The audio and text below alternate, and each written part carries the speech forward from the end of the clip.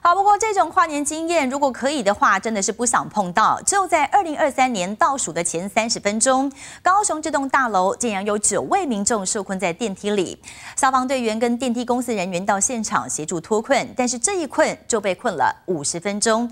所以等他们出来时，这跨年也已经结束了。受困民众表示，长这么大还是第一次碰到。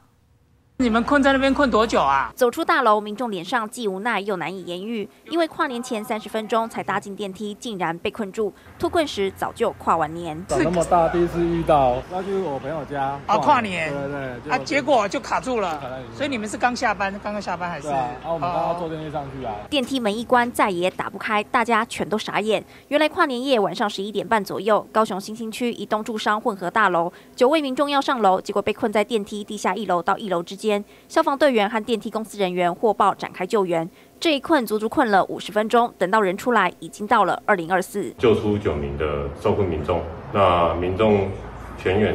都五大碍。跟他们里面的人说啊，你们超重了。这个电梯是大概可以负载多少？八个人。因为超重，九人就这样被困在电梯里。本来想开心和朋友跨年，结果反而和一群陌生人在电梯中来到二零二四。我觉得能够在电梯跨年是别有情趣，而且又紧张又刺激。这样的经验虽然独特难忘，但对这九人来说，一辈子一次就够了。记者梁家伟、邓明高雄采访报道。